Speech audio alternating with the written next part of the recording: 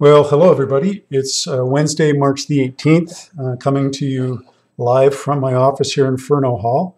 Uh, it's definitely strange. I'm absolutely the only person in the building, uh, which um, I guess is to be expected given circumstances, but uh, here I am.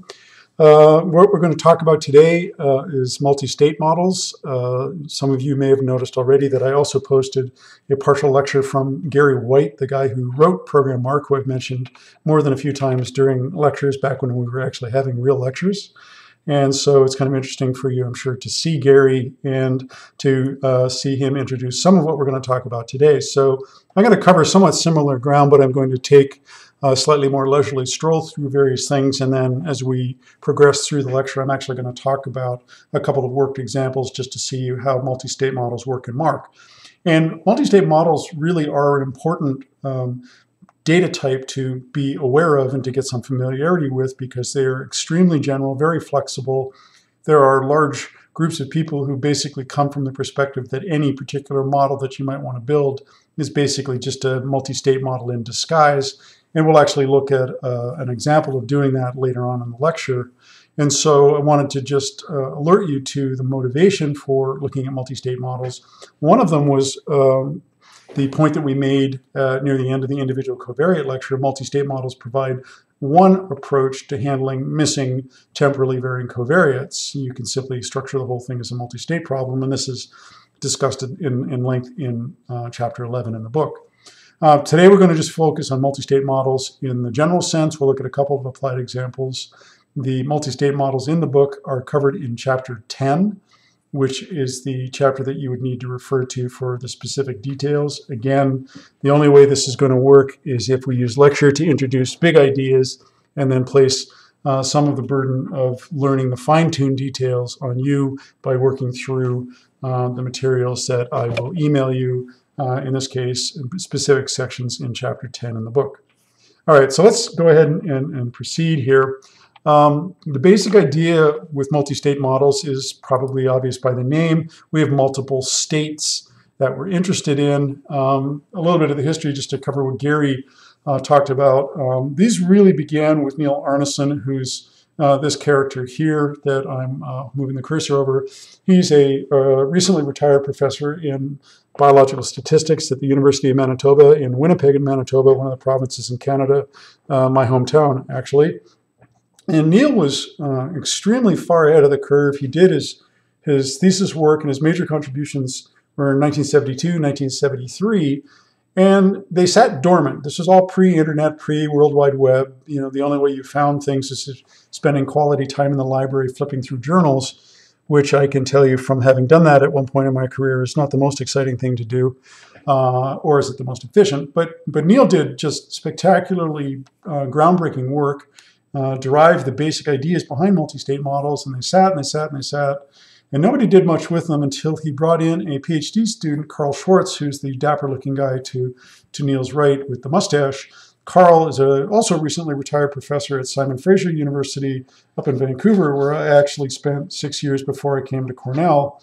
And Carl was one of those spectacular students who comes along uh, once in a while, looked at Neil's work, and just carried it much, much further and did really groundbreaking um, developments that we still largely work on today. Um, the thing that Carl's work, though, did uh, was primarily focused in on a couple of questions, but he also primarily focused on fish. So people who weren't really interested in fish taxa as a group uh, didn't really see a lot of Carl's work either. And then a woman named Cavell Brownie, who is down here in sort of the lower left, she got recruited. She was a professor of stats and the chair of the stats department at North Carolina State. Um, and I think she was the chair of the stats department when Steve Ellner was there. I'm not positive. And so she got recruited, and what Cavell did in combination with this character here in the lower right, this is Jim Nichols being pretend arrested in Guam. Um, Jim is one of those few times in my life that I can actually say that I've met and worked with a genius. Jim is the most self-effacing, quiet, gentle guy you'll ever meet, who also happens to have written 600 papers and 14 books, and is probably the single most important person in mark recapture theory and history because what Jim could do that was unique is he could read the papers by guys like Neil and Carl and Cavell, who's a statistician, and immediately see the 20 different ways that that idea could be applied to real problems in ecology and, uh, and biological statistics and evolutionary biology. So it's it's sort of become a cliche, but it's true. If you want to keep up on the in the field, you simply read everything that Jim Nichols has ever done, and you can't read them all because he's written so many papers. But if you see a paper by Jim Nichols, read it. It's characterized by both being very easy to read, but also at the end of it, you have that moment where you kind of go, "That's so obvious. Why didn't I think of it?" And the answer is because you're not Jim Nichols. And so I'm very fortunate to have done one of my postdocs with Jim Nichols uh, he's just frighteningly brilliant, but is also one of the nicest people that I ever met. And uh, it's it's it's kind of reassuring to know that you can be normal and, and, brilliant at the same time. Not that I would know about part of that. Uh, actually, I wouldn't know about being normal either, but so be it. So these are the main characters, and their first major application was on some work based on Canada Goose movement uh, biology in the winter, and this was something that a guy named Jay Hestbeck did. And, and then Jim came along in 94 and really kind of ramped it up. He looked at everything that everybody done and said, oh, here's all the different ways that we can apply this in interesting um, applications. And so the, the basic idea was simple. So this is just a, a simplified, stylized version of what Gary showed in his uh, presentation, which was largely based upon the Canada Goose movement model. It was the idea was motivated by imagining that you have physical locations and you're interested in the movement of individuals from the locations. Now, clearly, the individual movement is going to be conditional on a couple of things. In order to move, they have to survive, and if they survive, then they flip a coin to they move or not. So, when you look at a structure like this, and it was originally motivated by these physical locations, this was really um, generated a lot of interest because at the time this came out, metapopulation theory was all the rage. And it's still fundamentally important because we imagine that habitat fragmentation and movement of individuals amongst habitat locations is extremely important. And so, from the management and the conservation perspective, doing the modeling is one thing, but what multi-state models allow you to do is to actually estimate the parameters. And for some of you, at least, the ones who took 4100, you're going to look at these sorts of diagrams and you're going to potentially remember that they look like uh, life cycle diagrams that we talked a fair bit about in 4100, and they're exactly the same thing. And now we deal in, in this class with how do you actually estimate some of the parameters that might go into some of those life cycle diagrams. And so again, this whole kind of weird circle of life thing, all these courses start to integrate together uh, in your senior year, um, such as it is. All right, so there's a kind of an overview starting point. Three locations, A, B, and C. There's the probability that an individual, for example, could stay in B. There's a probability that it could go from B to A and, and all the other permutations that you see here. But what Jim Nichols did when he came along and looked at this is he realized very early on, and of course it seems obvious when you say it, but Jim was a, was a master of spotting the obvious, it can be generalized beyond thinking about animals moving amongst locations. And, and here's a generalization that we'll, we'll start with, and we'll look at a couple of different permutations of this in the next few slides. Imagine you have two different states. So rather than thinking about a location, just think about a state that an organism can exist in, and we call them A or B. So we simplify here. We simply have two states. So a multi-state model needs minimally two states, or it's not a multi-state model. Here we have A and B, and we have these transitions that exist either between the two states or the probability or the transition probability of staying within the state. And so if you just stare at this for a few seconds, you'll, you'll see how it works. Now, what's important here, when you look at the notation, for the first time, we're going to have the letter I, again, to indicate the time interval or the sampling interval. And now we have a superscript, and the superscript is to indicate the states that are involved in the particular transition. And unlike the way that some of the superscripts and subscripts are indexed in other courses that some of you have taken with me, these are actually read left to right. So psi AA is the probability that if you're in A, that you stay in A. Psi BA is the probability that if you're in B at the beginning of the interval, that you transition and move to A. And so you'll, you'll see um, that the first letter is where you are and the second letter is where you're going to go to. And so AB is the probability of going from A to B over interval I and, and so on. So it won't take you very long to kind of figure this out.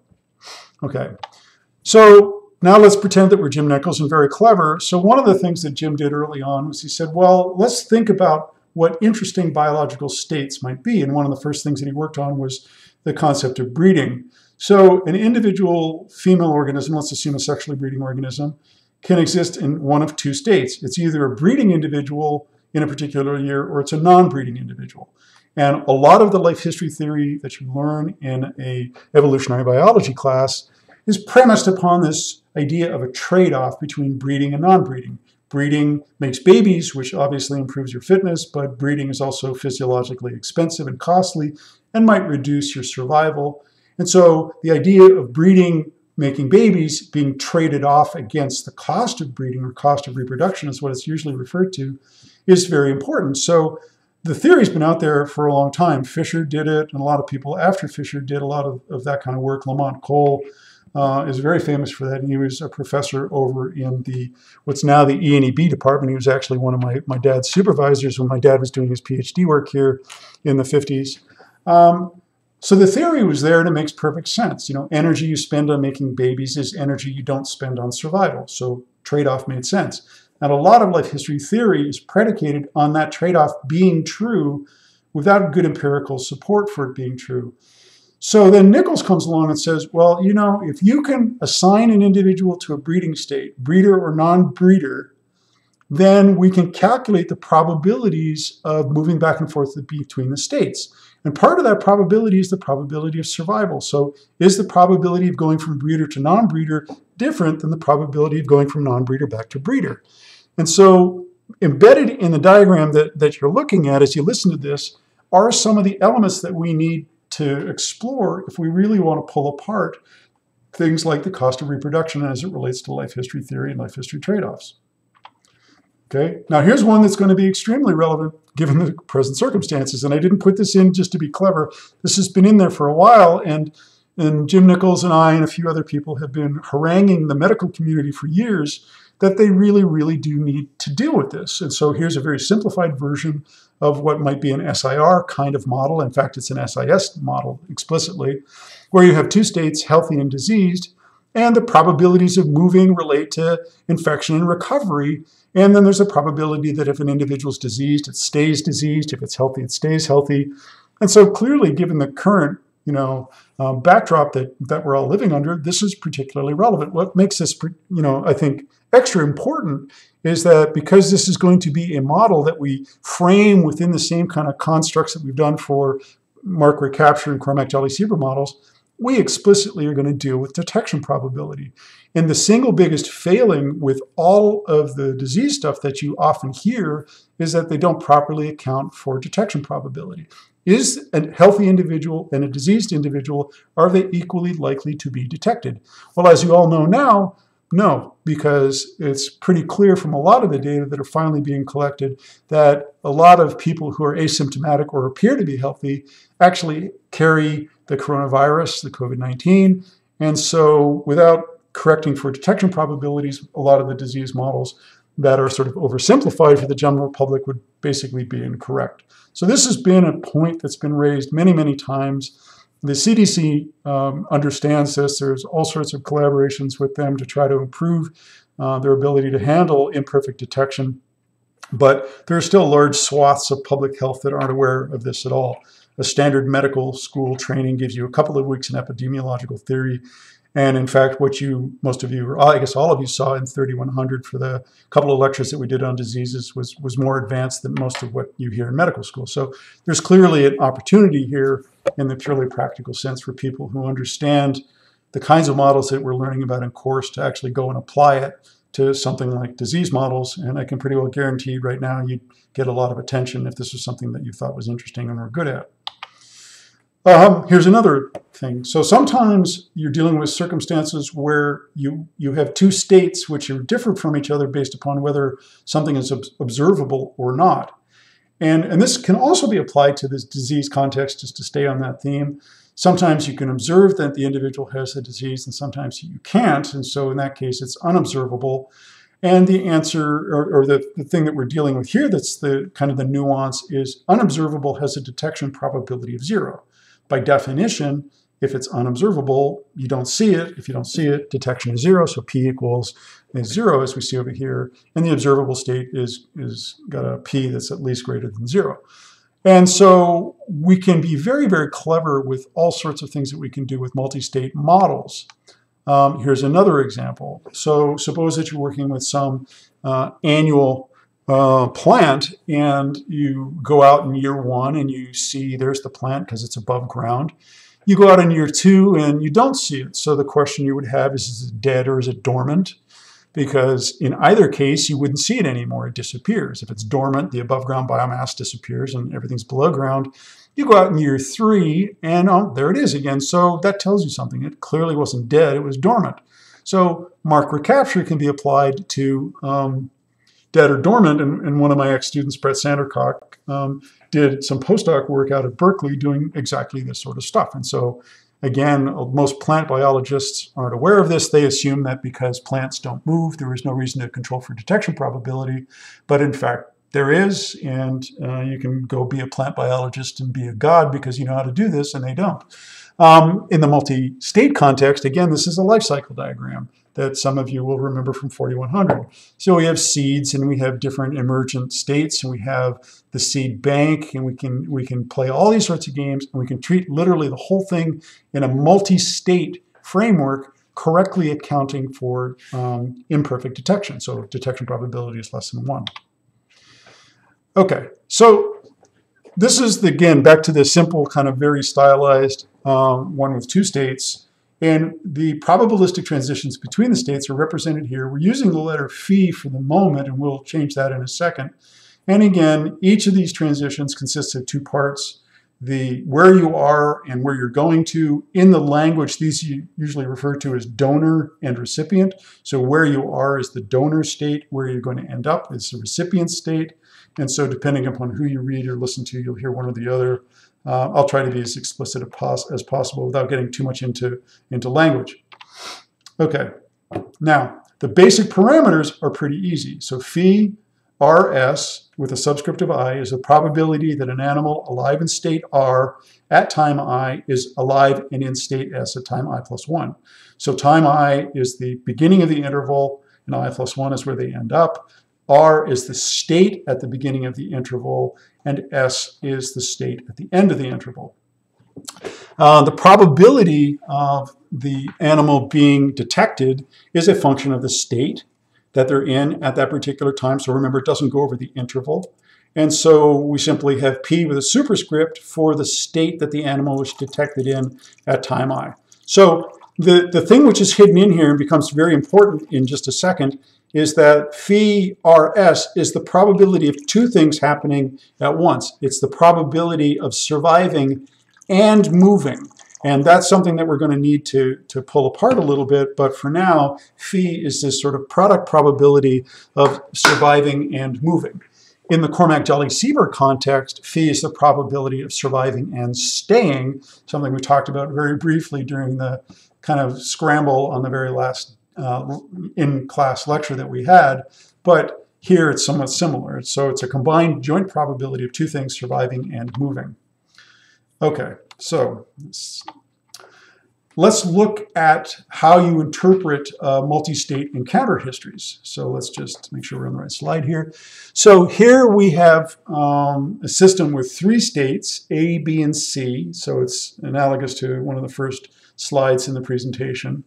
And on the left-hand column here, we see different encounter histories, and on the right, we see the interpretation. Now, the very first thing that you need to notice here, or should notice, is that we no longer are simply using ones or zeros. If we only used ones or zeros, then we can't build a multi-state model. We have to, you know, indicate the state. And so in Mark, you can use one, two, three, four, five, up to nine. So you could have nine states, or you can use letters um, and you can use uppercase or lowercase. So you have a very, very large number of ways that you could represent a particular state. It's entirely up to you. The only one you can't use is zero. Zero means something very specific. It means you didn't detect it. So in this case, we're using capital A, capital B, and capital C to represent the states A, B, and C respectively. And then the zeros that you see in, in the first two encounter histories represent you know, not being detected. So let's just run through the interpretation of the first history, AAB0CC.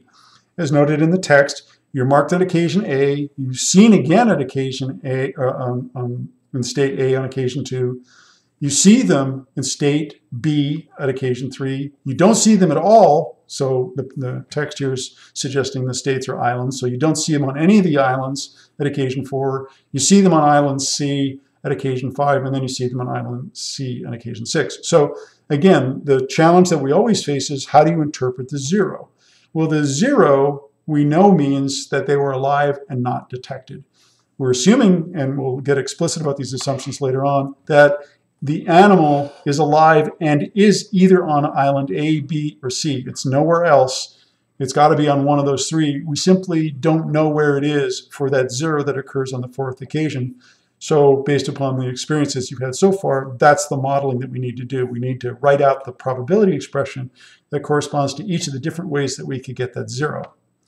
Okay, so the second encounter history, somewhat similar. We've got BA, BA, and then two zeros. So it was on island B, we saw it, went over to island A, we saw it, went back to island B, we saw it, went back to island A, we saw it, and then we never see it again. So now we're faced with the problem well, maybe we never see it again because it's dead. And did it die on the fifth occasion or did it die on the sixth occasion? Was it in fact alive on one of the islands and we just missed it? So terminal zeros are always a pain in the butt if you had to write out the probabilities by hand. We don't. Mark does all this work for us, and so on. And then the final encounter history, ACAA. That's, that's really easy. There's no zeros, and we know exactly where the animal is. And in this case, they mostly stayed on Island A, and on the second occasion, they moved over to Island C, and we saw them. So again, um, not too different. The main difference is that we use something other than simple ones and zeros to indicate detections. Uh, we use something to indicate the state or the location of the animal when they're detected. Zeros still mean not detected, and, and the, the technical complication that the software will do for us is we now have multiple permutations of how we get uh, a zero. And so we'll look at that uh, in this example. So let's consider just a, what looks superficially to be a simple encounter history, A, 0, and B. So we'll imagine here we only have two states. And so on the first occasion, they're in state A. On the third occasion, they're in state B, so we know that the zero means that they were alive, but we missed them.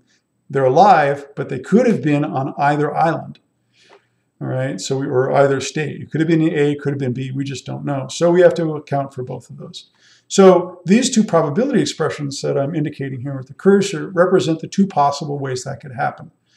The individual was in state A on occasion one could have stayed there and simply been missed with probability 1 minus PA, and then moved to B and then was detected, or it moved to B between the first and the second occasion and we missed it on B and then it stayed there and was detected.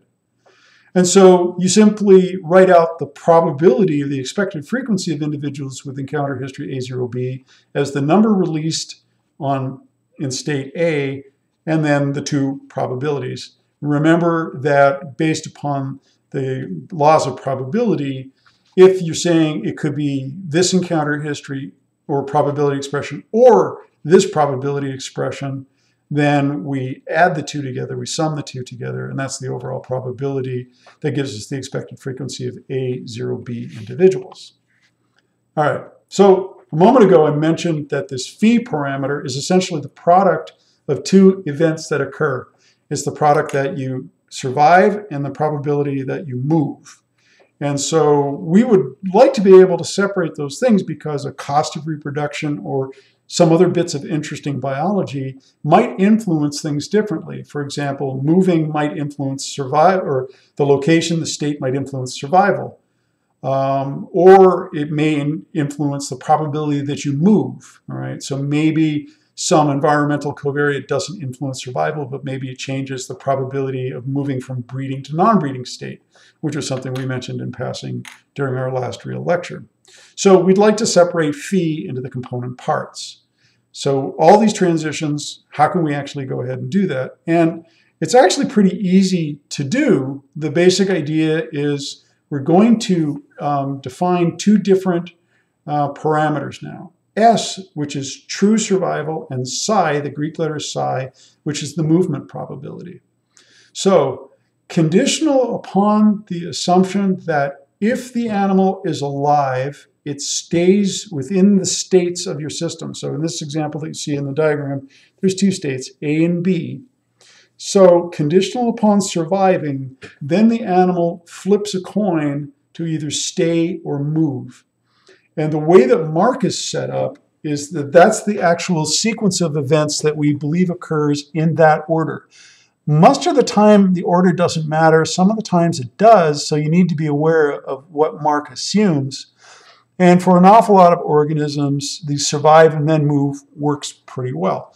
So if you stare at these things, and I'm, so I'm looking at, let's look at, at this particular transition. You're in state B at time I. You survive, so the, the survival coin gets flipped. And conditional upon surviving, you either stay in B or you go over to A. And so here, what we're doing is we're basically going from B to A, so psi with the superscript BA. And so the overall probability expression then is the product. You flip the coin, survive, and then conditional upon surviving, you either move psi BA or you stay. So the survival probability is the same. It's survival B, survival B, and now we simply have the, the probabilities of, of going from B to A or B to B. Now, what's important here, and, and hopefully, you know, if you're paying attention, you can kind of see that this must be true. If you survive that means you're either an A or B. And so if you survive, then the, the sum of psi BA and, this, and psi BB has to be 1. Okay, so if you uh, stay alive, then you have to be somewhere. So the overall probability of being in A or B is 1. And so that means that the sum of the movement parameters conditional upon survival has to be 1. And that becomes important for some of the things that we'll see a little bit later. So in order to, to actually statistically separately estimate survival and movement, you have to make an assumption and, and apply some constraints. But the main one is this.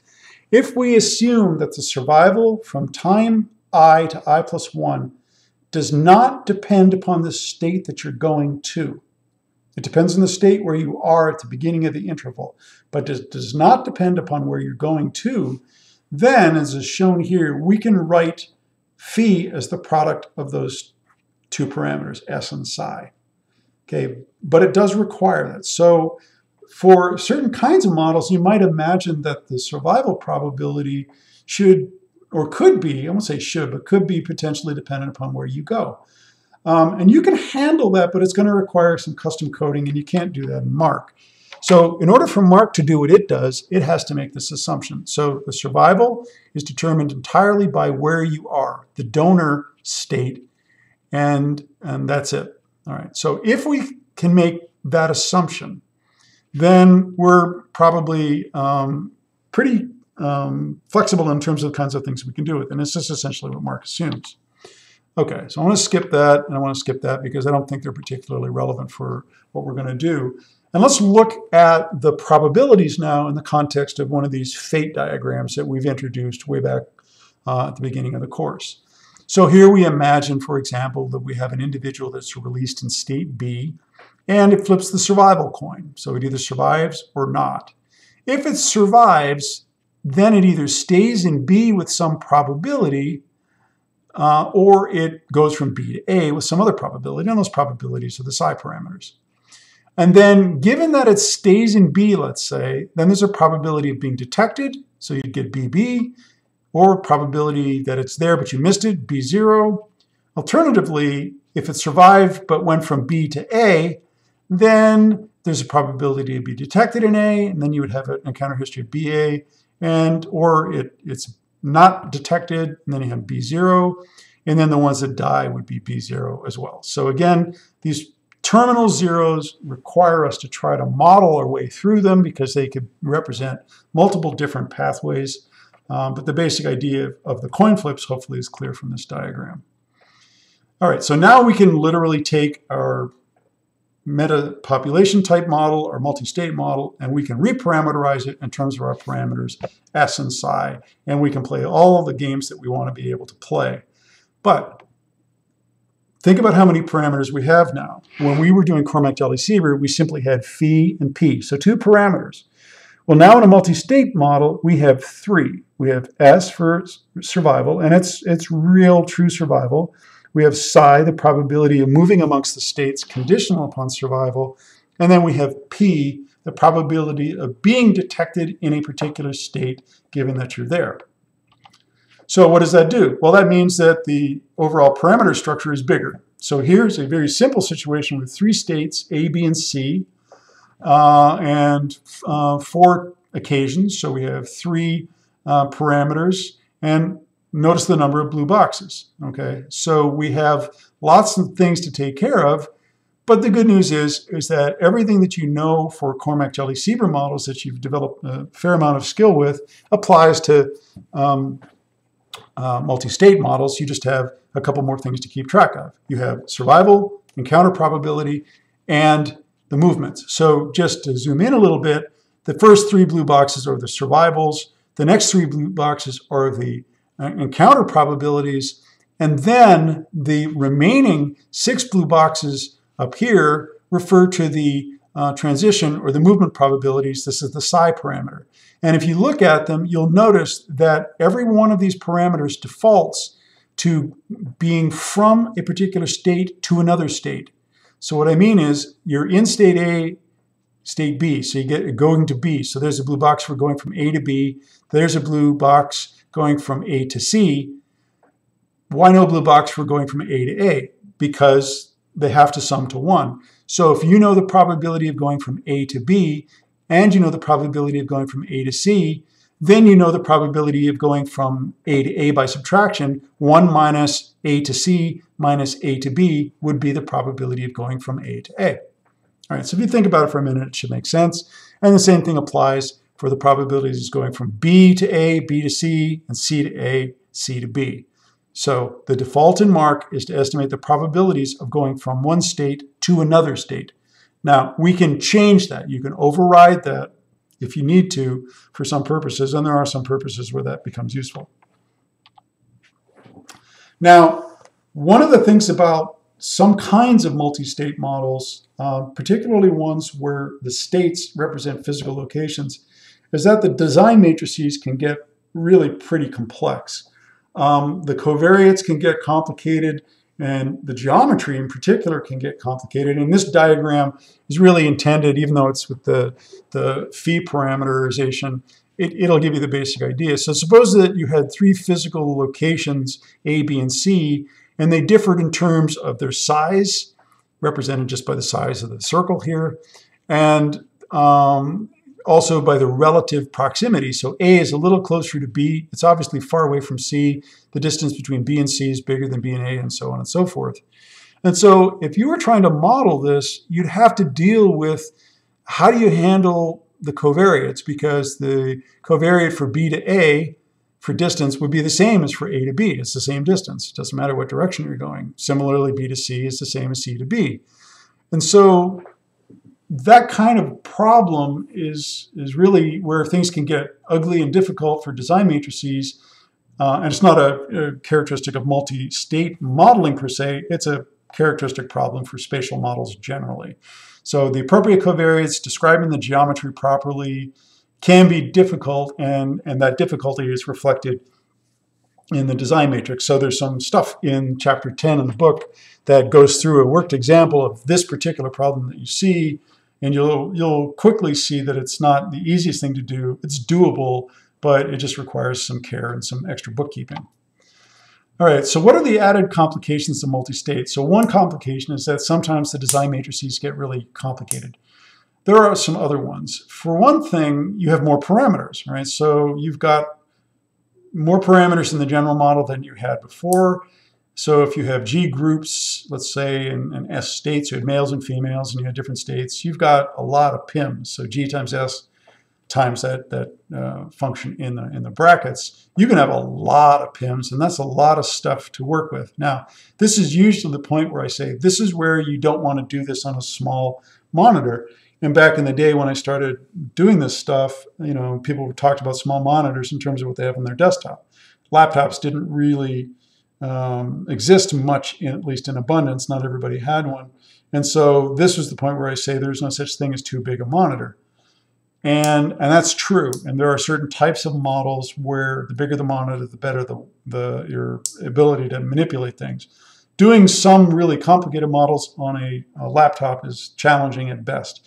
So for the purposes of the class and the examples in the book, everything in there that you'll see, oh, excuse me, late night, um, uh, everything that you'll see is, is going to be scaled down to something that I think you could reasonably do on a laptop. So that's one problem. Um, the other thing is, is that you, you need to make sure that the transition probabilities for a given state have to sum to one. There's a logical reason that we talked about. And sometimes the standard logit link doesn't do that very well. And so the, we're going to introduce very briefly, and Gary introduced it in his talk, something called the multinomial logit transformation. It's a little bit uh, complicated the first time you see it, but in practice it's actually really easy to use. So we'll, we'll step through that uh, I think, in one of our examples. And then finally, this is a point that Gary did talk about if you uh, watched his, his presentation. And if you haven't, I think you should, just so you can see Gary White in action. Um, there's a higher chance of local minima. So you'll remember from when we first introduced maximum likelihood theory, seems like a long time ago now, um, all of the examples that we looked at had a single mode. So, you know, you imagine the hill with just one peak at the top. And so what the the algorithms and the solvers were trying to do was to find the peak at the top of the mountain.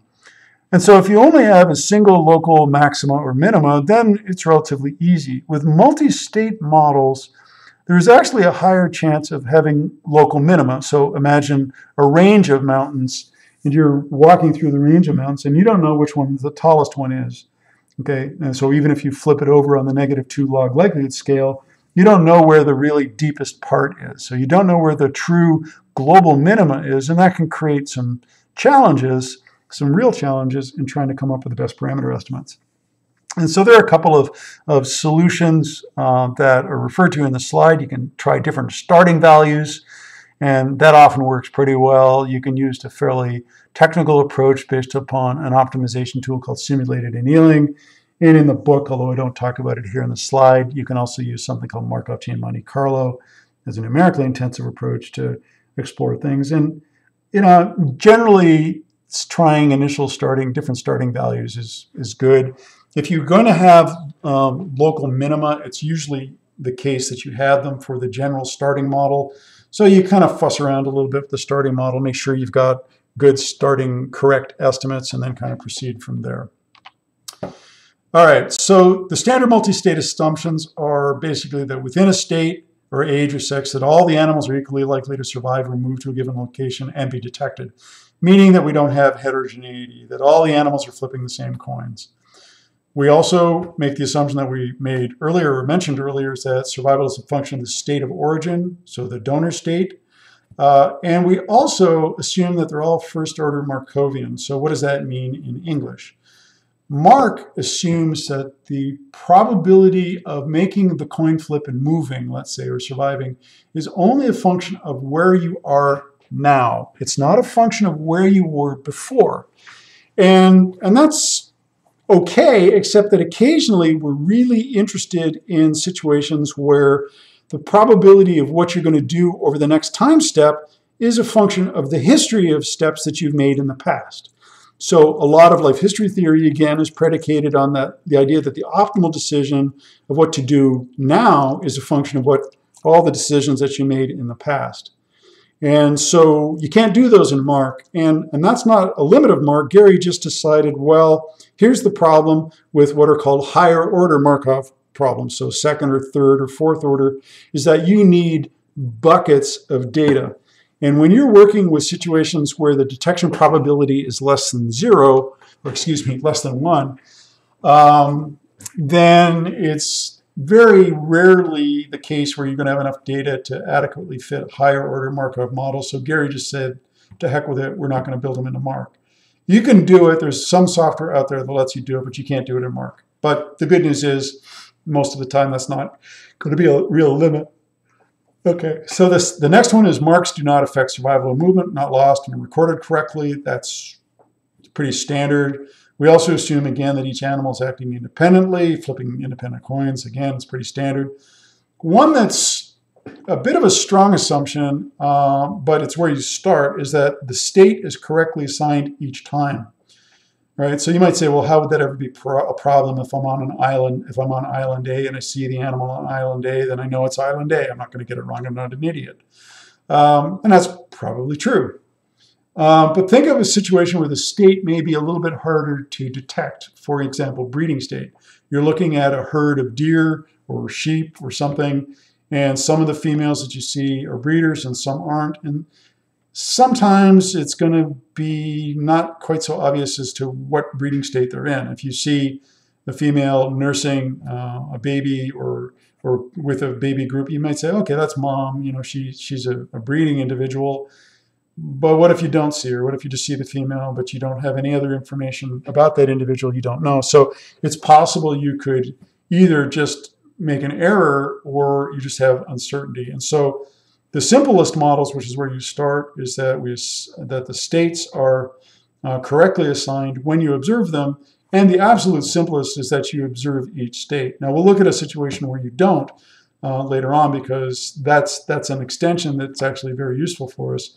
But the initial starting assumption is that you see every state, you see them correctly, and each state is equally likely to be observed. Not that the individuals in the states are equally likely, but that each state is observable. So we're just going to jump out here and we're going to look at a very quick uh, example based upon a putative cost of reproduction thing based on some, some deer data. And this is the example that's described initially in chapter 10. And I'll just hop out of uh, PowerPoint here and we'll fire up Mark just so that you can see uh, how to do this. I'm not going to do an exhaustive analysis here in the presentation. You can uh, do the work, follow it along in, in the book. I just want to show it to you uh, while you're watching this presentation just so that you can see a few things. And then when you actually sit down to do it in the book, it'll be hopefully a little easier. So we're going to start a new study. This is going to be the deer uh, study. And for the very first time in the course, we're going to click a button over here for data type. That's not the default. We're not going to simply do live recaptures. We're going to do multi-state encounters or recaptures only. So you click that button. You go out and you select your file. It's called deer.inp. And we're going to have a quick look at it to make sure that we know what it is. And here's that particular data file. So what do we see? Well, first we've got one, two, three, four, five, six, seven, eight occasions. And this is a breeding, non-breeding study. So in the input file itself, I used the capital letter B to indicate that the individual was a breeder when it was encountered, and the capital letter N to indicate non-breeder when it was encountered. So it has to be a single character or a single digit. Excuse me. But um, but nothing really different from that. So there's the encounter history, B's for breeder, and for non-breeder, and there's the frequency. So these are not individuals, these are aggregated. So we've got 85 individuals that were seen as a breeder in the first year, not seen again, and so on. Okay, so we go down here and we say eight occasions.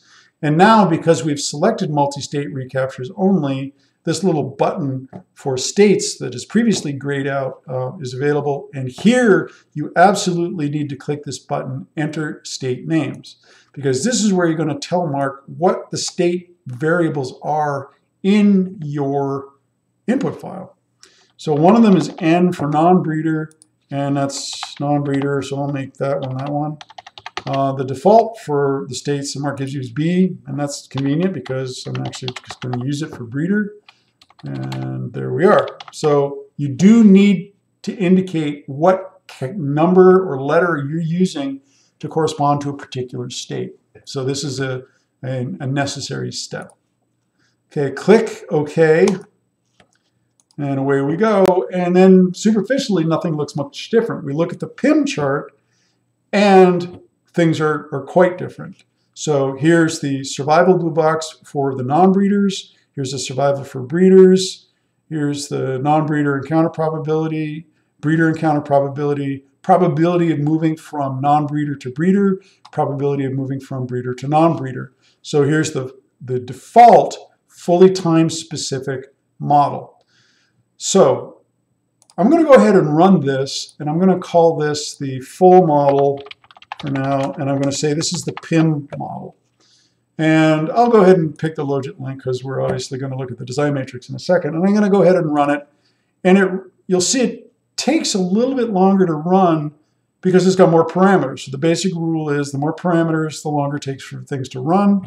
It doesn't take too long, but you'll notice it for really big problems. So there it is. We add the results to the browser, and I'll make the font size a little bigger so you folks who are playing along at home can see this.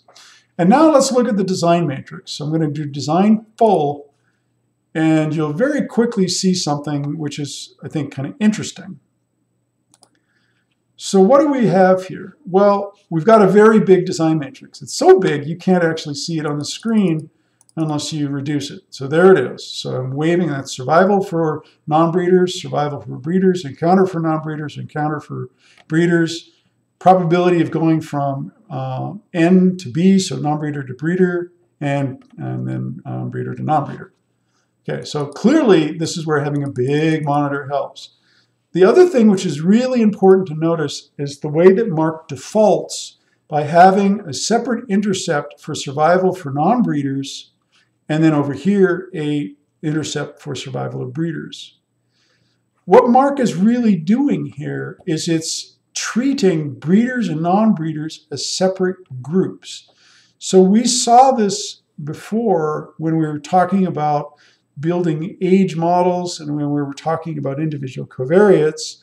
You can, and there's some reasons to do this, sometimes treat different states of something as using, you know, treating them separate groups. So you could argue that age is a state. And we saw that you could build it like this. So I'm going to run it this way, and I'm going to give it a name. So this is my full model, but using separate intercepts. And what we'll see is that we're going to get exactly the same model deviance, model likelihood fit, everything's the same as the one that we did using the PIMS. I mean, there it is, the same deviance, 680.0540. Now, if we go back to the design matrix, though, the, this is fine, except that it's ultimately limited because you're not going to be able to build an additive model. So to build the additive model, we go to a common intercept approach. And so I'm just going to do that here. I'm going to delete, and I make this a little bit bigger, I'm going to delete, uh, or series zero out columns 1 to 14, and I'm going to start from scratch. And, and this is the design matrix that we would be most familiar with. So I'm going to zero multiple columns, which basically means turn everything back into zero, from 0 to 14. There we are. And now I'm going to put in our common intercept. And this is where I need to make sure that I haven't gone too far and I'm okay. And now I put in for the breeder, one, two, three, four, non-breeder rather, one, two, three, four, five, six, seven. And then I have one, two, three, four, five, six, seven for the breeders, time steps. And I do the same thing for one, two, three, four, five, six. And then I have my interaction columns. One, two, three, four, five, six. And then if I wanted to be good about it, and I might as well go ahead and do it, I can label my columns. And I'm going to clear them all. This is my um, survival intercept. This is my um, state then I have T1, T2, T3, T4, T5, T6, and then I have my state times T1 intercept, and state times T2, state times T3. No, ah, that's not very good there. Fix that up. State times T3, state times T4, state times T5, and then finally state times T6. 14 parameters, which is what we need. Okay, go ahead and I'll just click that, and then it's just labeled for us. But now you'll see it, and this looks more familiar. This is basically identical to the standard way that we've set things up. And we could do the same thing for the encounter probabilities and then for the movement probabilities. But I'll just do it for survival here just to demonstrate the point. Um, this is the full model, but I'm going to have common intercept for survival um, and go ahead and run it. And, and it gives you the exact same model. So again, the, the whole point of doing this is that there are lots of different ways to build the design matrix. As long as they're consistent with each other, you're going to get the same estimates, you're going to get the same model things. Where they differ from each other is on the beta term. So the betas mean something different than, than they did before. Okay, so that's that. Uh, what else can we do? Well, I'm going to go into my PIM chart for a second, and I'm just going to show you something. And there's a bunch of discussion about this in the book that I'll, in, in chapter 10 in the book that I'll uh, ask you to read when I send out the email for this lecture. Um, I'm going to make it constant, and I'm going to make it constant. So I'm going to pretend for the moment that the probability of going from n to b uh, is constant over time and going from b to n is constant. And I'm going to run this, and I'm going to just call this constant default direction. So this is where Mark uses the default of going from one state to the other state. Okay, so if we click that and we run it, there it is. If we look at our estimates, and I'll just add some spacing here, the probability of going from non-breeder to breeder is 0.83, and going from breeder to non-breeder is 0.415. Now, we could calculate the probability of going from non-breeder to breeder as simply 1 minus 0.83, because if they're alive, then if they don't move from non-breeder to breeder, then they have to stay a non-breeder, so 1 minus 0.83 is the probability of that. We can also tell Mark that we want to actually have it directly calculate a different direction of the transition probability psi. To do that, we go into the PIM uh, menu, and down at the bottom, you'll see Change PIM Definition. And for the multi-state model, what that does is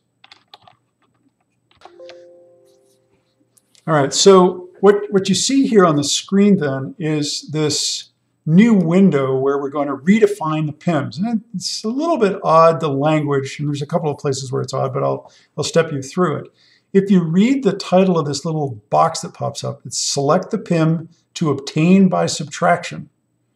Okay, so by default, Mark gives you the probability of going, let's say, from A to B, or in our case, from um, B to N N to B. So what it's showing you here is that you would have to, by default, calculate N to N by subtraction or B to B.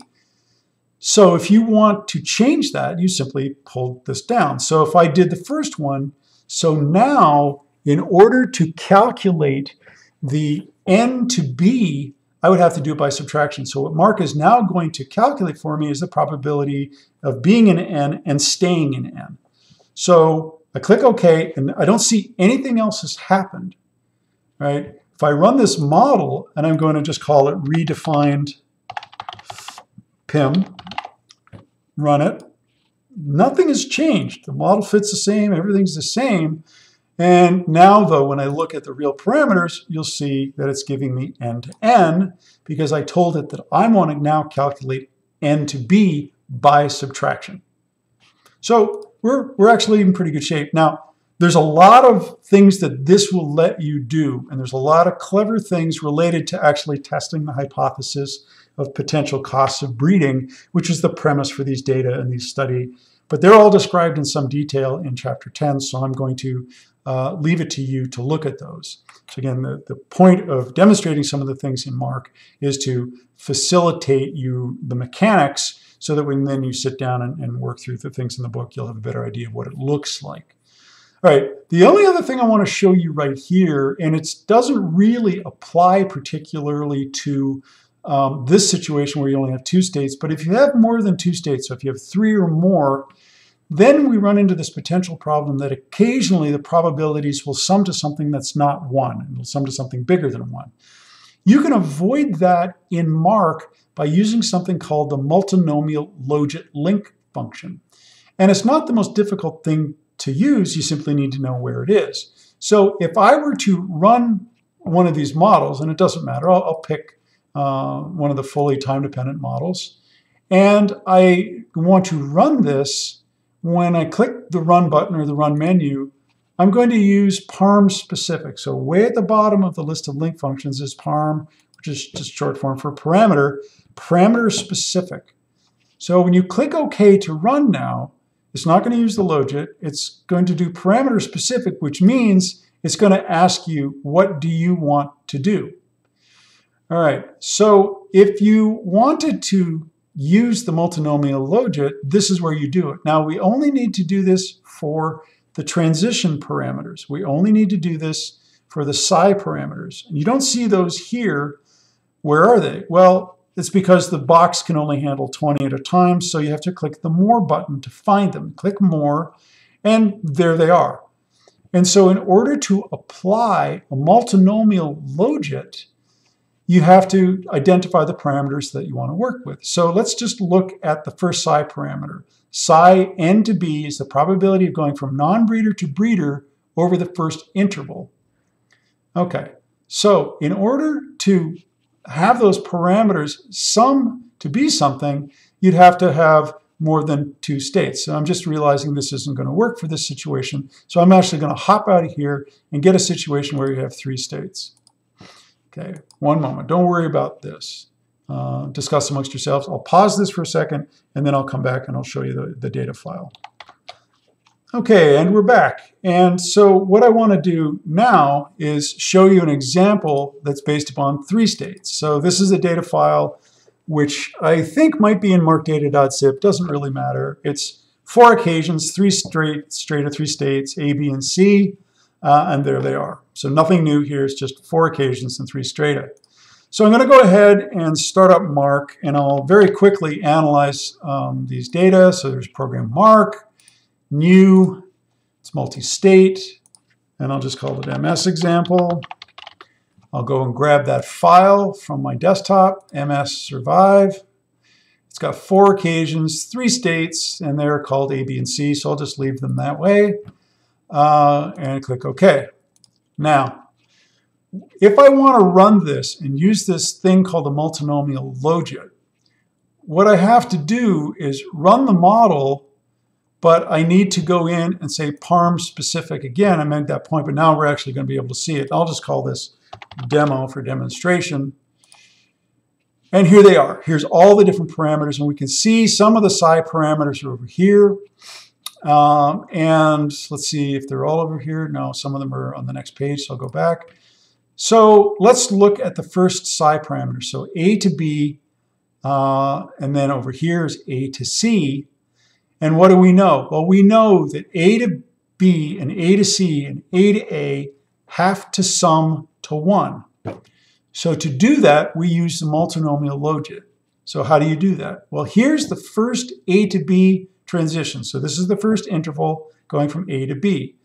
You highlight it, you don't even need to highlight it, just click in there, and then you pull down this menu and you'll see mlogit 1. And the 1 means this is the first set or pair of parameters that we're going to constrain to be multinomial logit. So psi A to B for the first interval. Well, that now we go over here and there's psi A to C for the first interval in its multinomial logit set 1. So remember, we get A to A by subtraction. So what we're doing here is we're forcing psi A to A plus psi A to B plus psi A to C to be multinomial logit. They're grouped together, it's grouping 1, and they will sum to 1. We would do the same thing for the second interval. We would use multinomial logit 2. So multinomial logit 2 and multinomial logit 2. So there's a to b and a to c for the second interval, and so on. So again, this is demonstrated and laid out in the book, but this is where it is. It's a parameter-specific link function, and the multinomial logit link is uh, entered by simply using the drop-down menu, and you simply need to pair up which transition corresponds to which other transition. And with a little bit of thought and practice, it's not too difficult. Okay, so you run it, go ahead, get an evil error message that numerical convergence wasn't reached, and that's fine because it, reflects the fact that I did multinomial logit for some and not all of them. It's not a big deal. At any rate, we'll ignore that for now. But that's where the multinomial logit is. All right. The next thing I want to do is just a quick demonstration. I think it's kind of a slick demonstration of how multi-state models are very, very general. So what we're going to look at is how could you use a multi-state model to basically do a Cormack-Jolly-Seber analysis.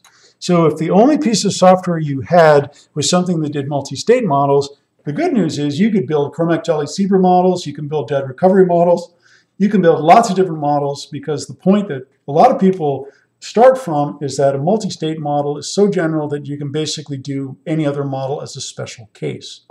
So there's two example data files here that I'm going to use, cjs.inp. I'm going to analyze it as a straight uh, Cormack-Jolly-Seber model, and then I'm going to do the exact same thing. I've just got a copy of it called MS for multi-state CJS, and I'm going to analyze it as a um, multi-state uh, model. Okay, so to do that, what we're going to make use of is the idea of observable and unobservable states. When you do a live encounter Cormack-Jolly-Seber model, what you see on the screen right now, this unobservable states, is exactly what you're working with. Observable are the live encounters.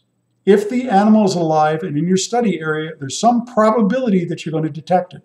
It's potentially observable. If it's dead or permanently emigrated, it's unobservable, and the encounter probability for unobservable individuals in a live encounter study is zero. So a Cormack-Jolly-Seber model is a multi-state model. There's two states, live and dead. One state is observable, that's the live. One state is unobservable, that's the dead state. So that's how we can analyze things. So the data that we're going to work with, so there, there it is in a, in a sort of a graphical form. Two states, live and dead, one of them's observable and one's not. So the data we're going to work with were simulated using these true parameter values. So you'll see that phi varies over time from 0.5 up to 0.85, and p bounces around a little bit. So they're both time dependent. These little vectors and matrices here is one way that people use to represent this kind of approach that we're going to take. Um, you have two states, one and two. Well, what's the two state? Well, we're going to use the number two to represent the dead state. But the detection probability for the dead state is zero. So you don't actually have any twos in the encounter history. So P is the probability of detection for the observable state, one. Zero is the detection probability for the uh, unobservable state, two. And then what we have over here is the transition matrix. What's the probability of going from state 1 to 1? Well, 1 is live, so going from live to live means surviving. That's phi. The probability of going from dead to live is 0. We don't do reincarnation modeling. And the probability of uh, going from 1 to dead is 1 minus phi. So 1 minus phi is the probability of dying, going from 1 to 2. And then the probability of being dead and staying dead is one. Okay, and if you're dead, you stay dead. Again, no reincarnation here. So we're going to go ahead and analyze these data. We're going to start by just looking at the file, and it's going to be the same file we analyze two different ways. There it is. It's a Cormack-Jolly-Seber mark encounter file, all ones or zeros, no nothing else. There's no other state, and then the frequencies. So I'm going to go ahead and I'm going to run mark for these data. So here's my new analysis. This is going to be CJS data the normal way. Okay, so the standard way that we've been developing up until now. There it is. I'll run it. It has, I don't remember how many occasions, one, two, three, four, five, six, seven, eight. So it's got eight occasions. And we know what the true model is. We know that the true model is fully time dependent, and that's the default model that Mark starts with. So I'm just going to go ahead and run this, and I'm going to call the model uh, true. I go ahead and run it, and I'll go back, pick the logit link, doesn't really matter here. And there it is. So let's look at our estimates. These will be something we're going to check on in a second. We have our final phi and p are confounded, as they always are. And if we look at our estimates and we compare them to the true parameter values, and I'll see if I can overlap them here, uh, you'll see that they're actually really close. So 0.5, 0.49, 0.85, 0.837, and so on for the detections. 0.45 is 0.42, 0.45, 0.44. Okay, so these are the estimates. These are simulated data. So um, they're always going to be slightly different than the true parameter values that I used in the simulation because they're just one realization of the, of the stochastic coin flipping. But there's our estimates. I'm going to keep those around because what we now want to do is compare them to the multi-state version of this. So again, to treat this as a multi-state problem, we need to remember that we actually have two states, live and dead. Live is observable and dead isn't. All right, so now let's analyze our data in MARK but we're going to do it as a multi-state problem. And to do that, I'm going to use the copy of the data set that I created. So this is CJS, the multi-state approach. It's a multi-state problem, so I have to click the multi-state button. I'll go grab the file, and I just called it MS CJS for multi-state Cormack Jolly Seber. It's exactly the same file. If you look at it, there it is, eight occasions. The only things that are in the encounter history are ones and zeros.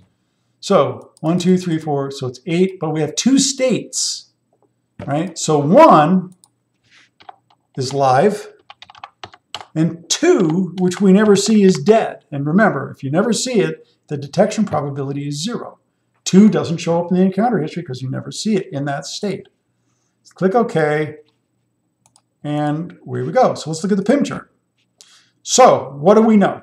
Well, we know a lot of things, but let's start with some of the stuff that's really easy.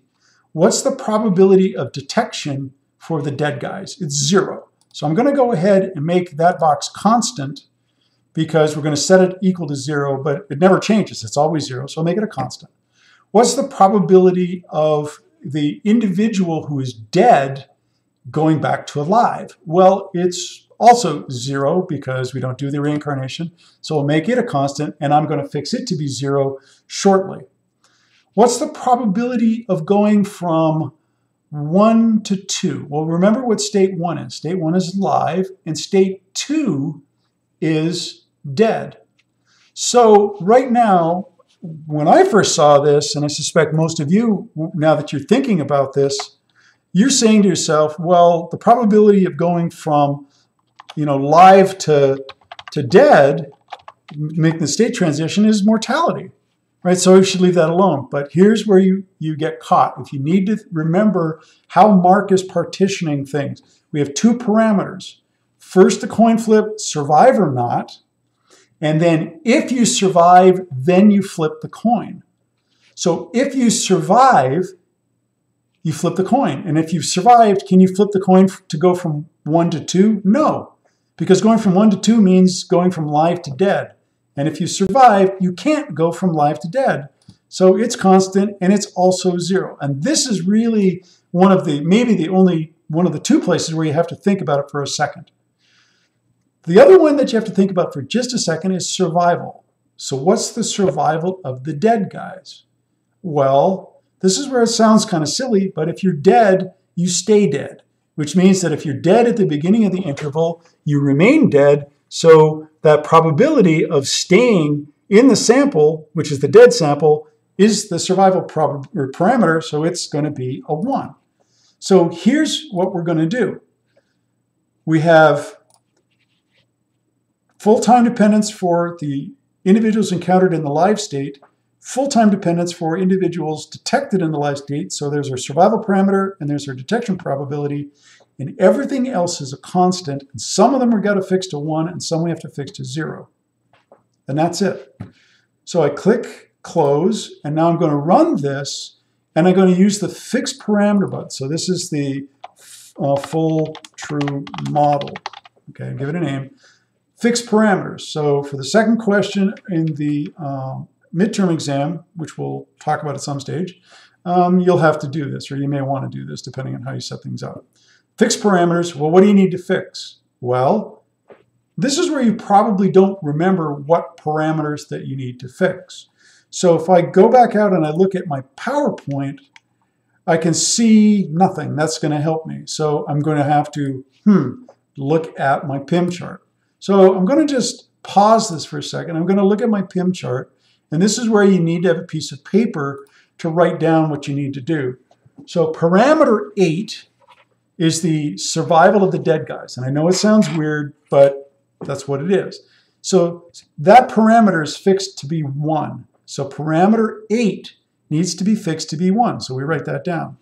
Parameter 16, which is the probability of detection of the dead guys, is 0. So 16 will be fixed to 0. 17 is the probability of going from 1 to 2, from live to dead. But if you're conditioning on survival, that's also 0.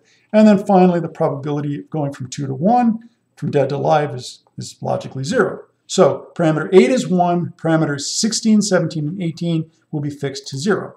All right, so now let's run this model again. But now we're going to uh, know which parameters to fix. So you, you generally need to write these down because you're, you're likely to forget.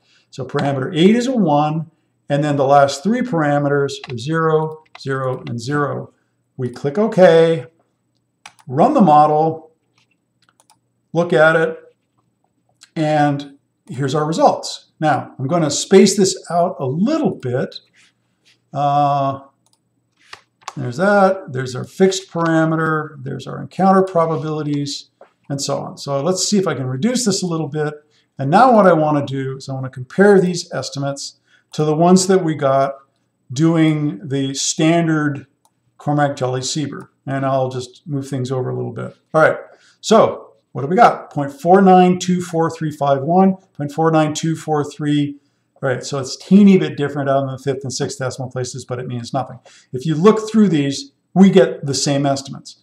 There's our fixed parameter for the survival of the dead guys, and there's our fixed parameters for the detection probability of the dead guys, and then the two transition probabilities going to and from.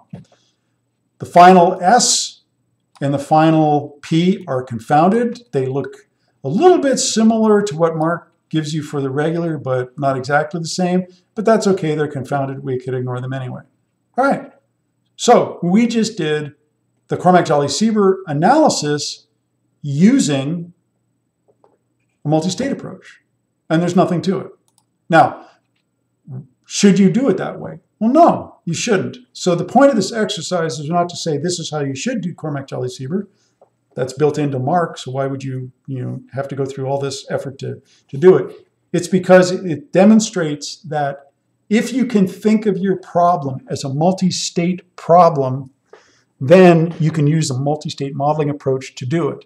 And this gets used all the time because despite the fact that Mark has 175 different data types in its current incarnation, um, smart people are coming up with new approaches all the time. And even though Gary, uh, who ostensibly is retired, although he never acts like it, um, gets things into Mark pretty quickly, um, not every model that you want is in Mark.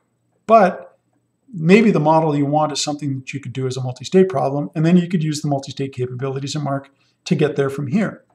So multi-state models are very interesting in and of themselves. They allow you to ask interesting questions about state transitions. But multi-state models are also very useful potentially because they give you great flexibility in building models that you couldn't build at uh, any other way.